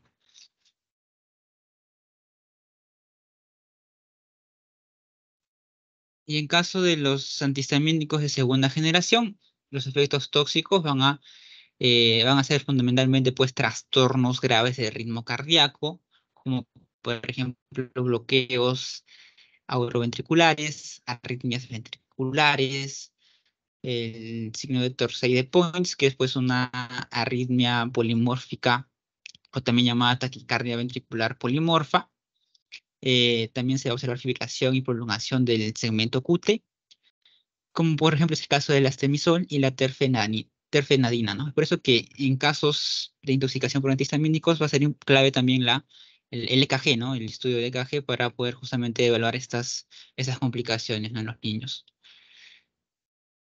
Ahora, en cuanto al tratamiento, vamos a ver que va a depender bastante de la cantidad de, de dosis eh, consumida por el, por el paciente, ¿no? Por ejemplo, como norma general, vamos a ver que pacientes que han ingerido antihistamínicos a dosis inferiores a tres veces, a tres veces la dosis máxima diaria pueden ser observados en el domicilio sin problemas. Ahora, si hay síntomas o la dosis es superior a cuatro veces la máxima diaria, el paciente pues debe ser observado al menos durante cuatro a seis horas. Y si son preparados de, de absorción lenta, van a requerir incluso periodos más largos de observación. Eh, y en caso la ingesta, si la ingesta también ha sido intencionada, ha sido pues este consciente, también se va a poder realizar una evaluación psiquiátrica por el, por el peligro de recurrencia, ¿no? Ahora, como medidas generales tenemos pues que asegurar en primer lugar la, la permeabilidad de la vía aérea, conocido ABC, ¿no? Primero la vía aérea, luego la respiración y luego la circulación. Como segundo punto tenemos la monitorización y también el acceso venoso si el paciente presenta clínica. Eh, debe haber una monitorización cardíaca continua en antihistamínicos Y si la disminución importante del nivel de conciencia es, recurrente, no, no cede, se puede administrar también oxígeno y naloxona. Y en caso no revierta, es importante también descartar la hipoglicemia mediante un test rápido, ¿no? En su ausencia, ya puedes administrar glucosa, ¿no? Y el otro punto es realizar eh, determinaciones analíticas apropiadas y también realizar un electrocardiograma. Por las conocidas, pues, este, manifestaciones eh, cardíacas, ¿no? del ritmo cardíaco. Eh, en cuanto a la descontaminación intestinal, eso también se comentó ya, tenemos el carbón activado en primer lugar, que es una técnica de, de descontaminación digestiva de elección. La dosis va a ser pues un gramo por kilo, con un máximo de 50 gramos en total. Y, un, el lavado gástrico, ¿no? Que no es recomendado de forma rutinaria, solamente en casos de ingesta potencialmente letal, ¿no? Justamente por los, por los, con, las contraindicaciones o los riesgos que se mencionaron como la neumonía, entre otros, ¿no? Y no olvidar también pues dar protección de vía aérea en caso se opte por el lavado gástrico. Eso como tratamiento eh, general. Ahora como tratamiento específico, centrarnos, centrándonos en los antihistamínicos, vamos a ver que eh, se van a utilizar benzodiazepinas para convulsiones o agitaciones. En el caso de la hipotensión arterial, generalmente va a responder a la administración de, fluidos cetónicos, como por ejemplo el lactato de Ringer, ¿no? Eh, en casos graves se puede considerar también la fisto- fisostigmina, pero se menciona que debe ser esto con precaución y monitorización constante, eh, ya que pues está contraindicada en varios casos, como por ejemplo el broncoespasmo, el tratamiento con antidepresivos tricíclicos, obstrucción vesical-intestinal, bloqueo cardíaco o reciente administración de succi- succinilcolina, ¿no?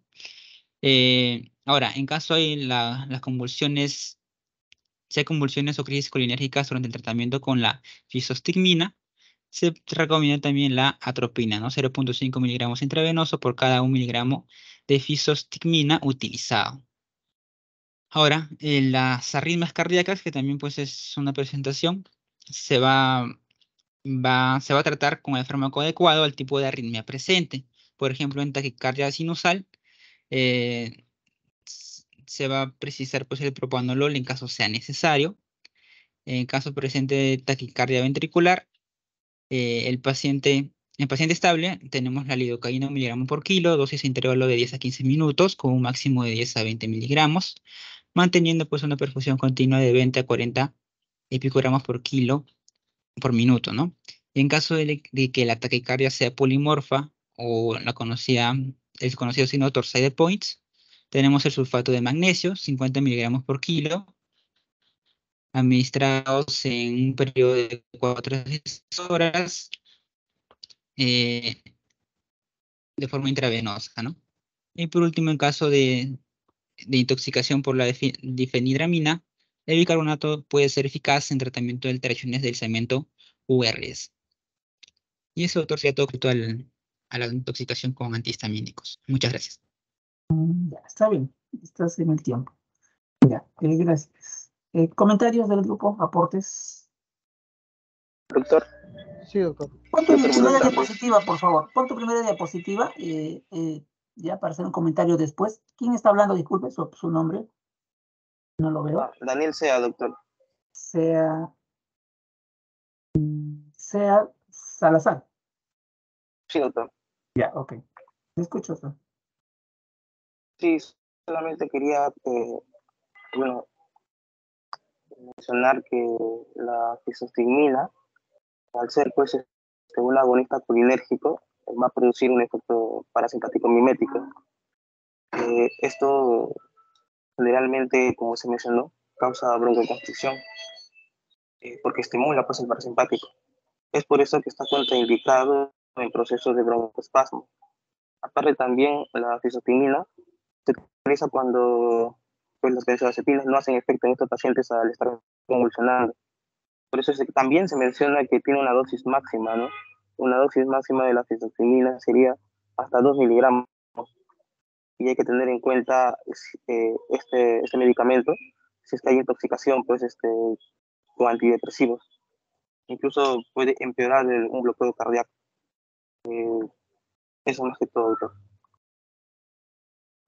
Gracias, doctor, gracias. Mm, Claro, o sea, acá el- los antihistamínicos no tienen antídoto, ¿no? A diferencia del paracetamol, de los órganos fosforados, que sí hay un antídoto. Acá no. Acá lo que vamos a hacer nosotros es, eh, si es que un paciente ya intoxicado, es el manejo sintomático, ¿no? Si aparecen convulsiones, le pones un anticonvulsivante, muy aparte del ABC, todo lo que, ¿no? Del paciente crítico, ¿no?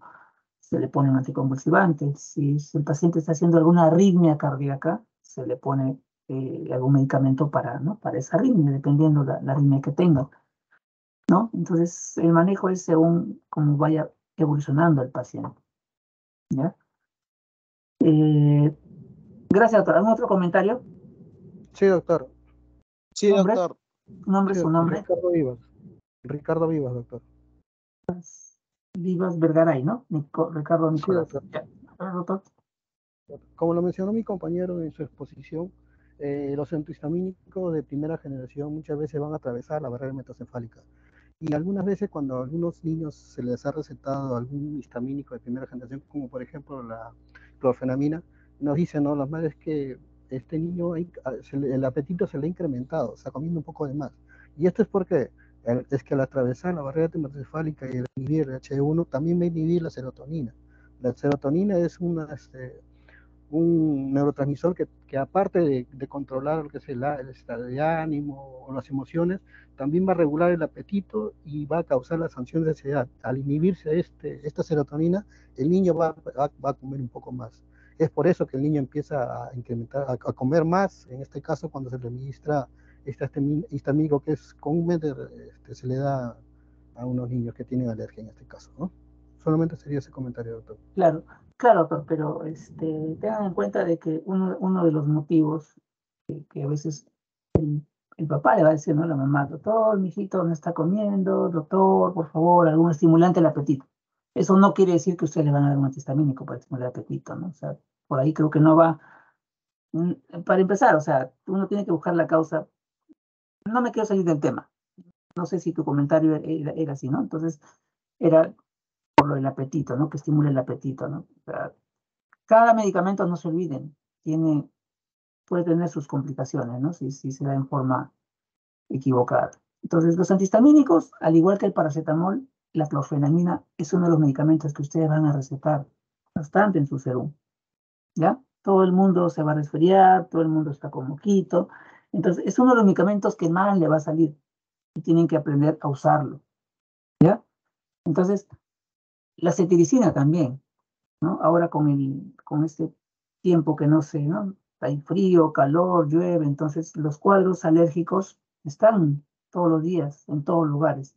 Entonces, uno va a usar la cetiricina, la levocetiricina, la clorfenamina, una serie de, de, de antihistamínicos, ¿no? De primera, segunda generación.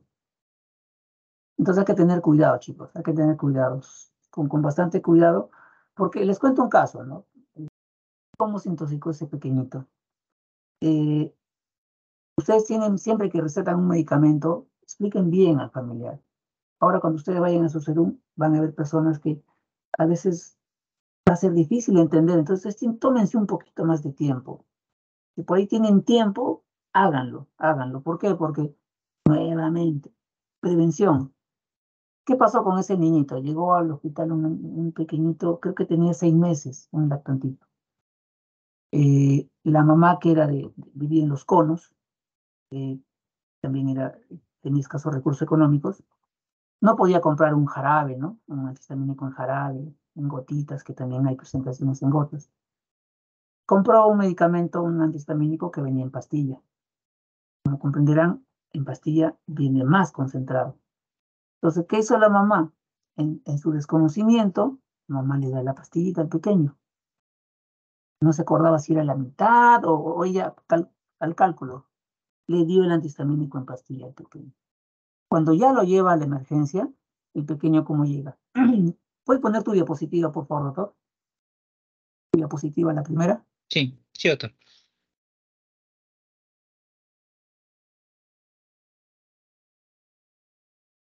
Miren lo que dice ahí, ¿no? Dice, los informes anuales de la, Asociación Americana de de control ¿no? de, de venenos publicados en el año 2000, bueno, ya un poco antiguo, pero igual es, se mantiene esa estadística, supongo, identificaron cinco casos mortales en menores de seis años tras la ingesta de un medicamento anticatarral que contenía clorfenamina, ¿no? En todos los casos el niño fue hallado con parada cardiorrespiratoria. El pequeño que les comento, el lactante, que la mamá le dio la pastillita, llegó con insuficiencia respiratoria y ya llegó haciendo arritmias. Entonces el pequeño se le tuvo que, y al final hizo un paro cardiorrespiratorio. Entonces el pequeñito se tuvo que reanimar, se tuvo que intubar, llegó a la UCI, pero al final no tuvo un desenlace fatal el pequeño. Todo consecuencia, bueno, estaba con su proceso viral, ¿no?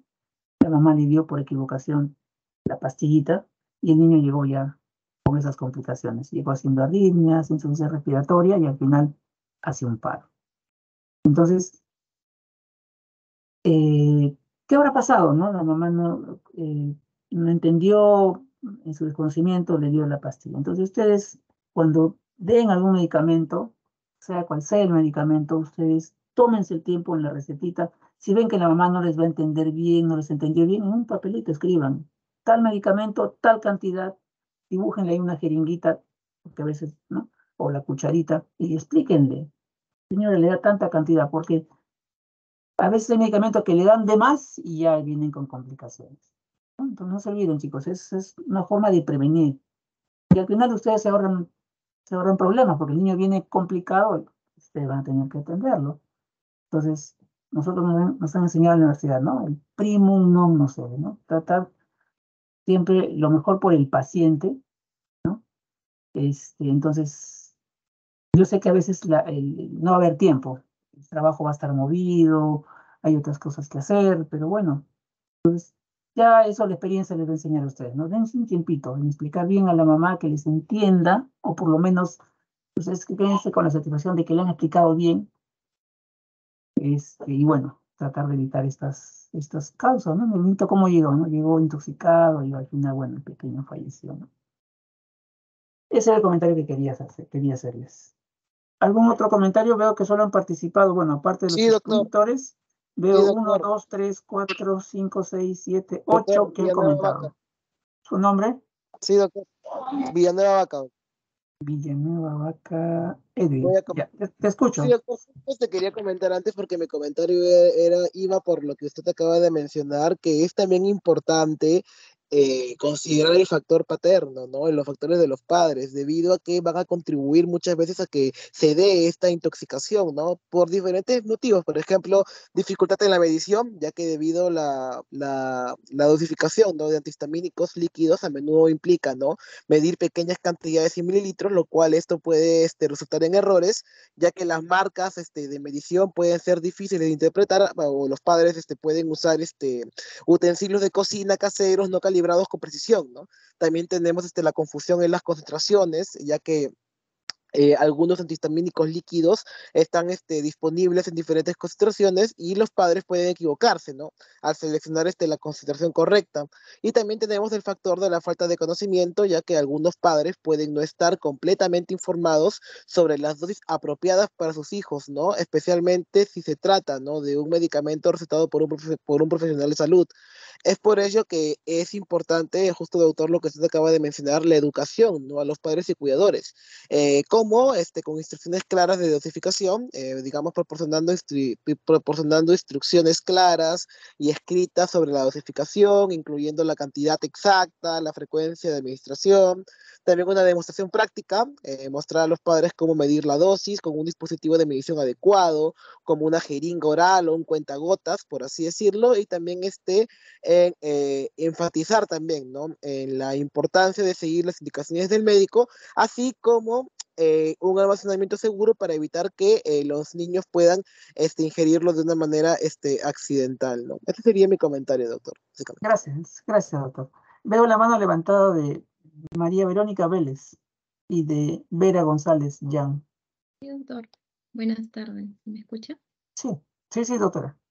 Sí, doctor. Eh, en la parte de los que son las pruebas complementarias en caso de intoxicación por anticatarrales, en este caso de antihistamínicos, eh, quería mencionar que, bueno, en esta parte eh, me parece interesante lo que es la parte de análisis de sangre y de orina, que según el artículo que habíamos leído, mencionaba que pueden haber falsos positivos. En el caso de los antihistamínicos, dan falsos positivos a sustancias como los antidepresivos, tricíclicos, o algunos opiáceos, ¿no? Y por eso mi compañero mencionó en la parte del electrocardiograma que estaba indicado, ¿no? Para todas las que son las ingestas tóxicas por antihistamínicos, ya han quedado un patrón, ¿no? Este, en el EKG, alteración tanto en lo que es el segmento QT prolongado y también en, cuanto a alteración en QRS. Eso nada más, doctor. doctora. Gracias. Doctora. Eh, Vera González.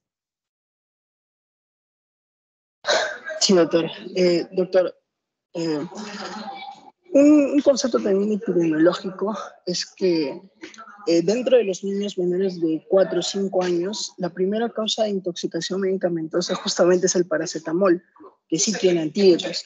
Sin embargo, en orden de frecuencias, en segundo lugar está justamente los antihistamínicos.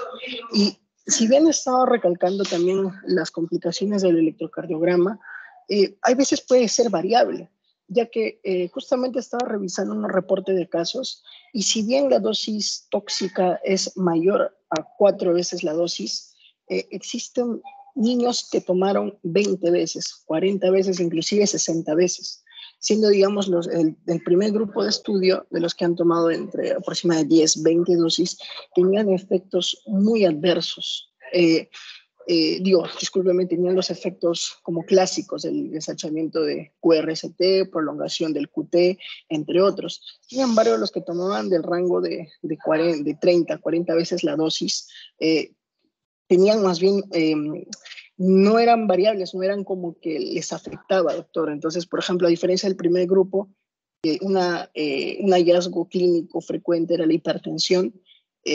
En el otro grupo de mayor dosis ingestas era la hipotensión. Entonces, si bien el electrocardiograma y tanto la monitorización de las funciones vitales cardiológicas se debería hacer en un primer momento, pienso que no se debería de confiar o debería tenerlo al niño en hospitalización mayor tiempo para vigilar, ya que muchos de estos fármacos también tienen un tiempo de vida, eh, un tiempo de duración eh, donde está la máxima expresión de una o dos horas. Sin embargo, estos se encuentran con un tiempo de vida en el cuerpo de 24 horas. Entonces, la monitorización también tiene que ser amplia, no se tiene que confiar eh, en una primera, segunda tercera evaluación, doctor. Claro, claro, o sea, desde que llega el paciente a la emergencia y ya tú con la anamnesis que has hecho al familiar, si realmente el niño, ¿no? O sea, ha ingerido una cantidad considerable que, que sea potencialmente tóxica, tiene que estar, o sea, el niño se hospitaliza para monitorizarlo, ¿no? No lo puedes mandar a su casa porque en la casa pueden pasar muchas cosas. Entonces, no, claro, o sea, pues, tiene que ser, ¿no? Monitorizar al paciente y no se olviden, siempre la duda favorece al paciente. Si hay la duda, se intoxicó o no se intoxicó, ustedes asuman que se, que ha intoxicado, manéjenlo, observenlo y bueno, si no se intoxicó a buena hora, se irá de alta a su casa, ¿no? Sin complicaciones. Ya, veo la mano levantada de Segarra, Andrés Gustavo Segarra. Sí, doctor. Eh, bueno, también buscando sobre las intoxicaciones sobre, con antihistamínicos o por, por antihistamínicos, he encontrado un caso clínico que menciona, aparte del uso de los medicamentos que ya se mencionó para el tratamiento de esta intoxicación, el uso de, emulsiones lipídicas eh, como posible tratamiento en caso de intoxicaciones, principalmente por, por antihistamínicos como la difenidramina, porque se menciona que podría actuar como una especie de trampa y unirse a las, a las moléculas lipofílicas de, de los antihistamínicos. ¿En niños es ese estudio? ¿En niños? Se habla, el caso fue, no, no es un estudio, doctor, es un caso clínico mencionado que se aplicó en un adolescente. Adolescente. Ya, ya. No, bueno, está bien el comentario. Bueno, con difenidramina no lo usamos mucho, ¿no? Pero bueno, está descrito como antihistamínico, ¿no? Eh, quizás el mensaje es de que ustedes traten de cuando empiecen ya a atender pacientes en el ser uno, niños, eh, los medicamentos más que más van a, van a recetar, esos son los que ustedes tienen que ¿no? saber al, todo, todo, ¿no? Las complicaciones, las dosis, ¿no? Y eh, indicar al papá, explicarle, pues, ¿no? Tómense en su tiempito. Sobre todo aquellos pacientitos, papás que, que ustedes lo ven como que no, no le va por ahí, el niño puede complicarse. Entonces, sobre todo con esos pacientes. Ya pues, ya pues chicos, ya casi son las dos. Ya, yo voy a dar las notas a la doctora Valdivia, ¿ya? Eh, todos han presentado sus mapas mentales, todos. ¿Ya? Y bueno, ya yo envío la calificación. Gracias. ¿Alguna pregunta, consulta?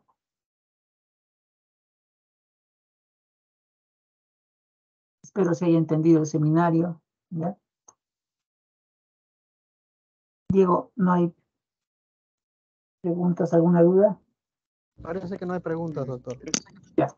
Ya pues chicos, gracias a todos por haberse conectado. Gracias. Gracias, doctor. A ustedes. Gracias. Gracias, doctor. Gracias, doctor. Gracias, doctor. Gracias, doctor.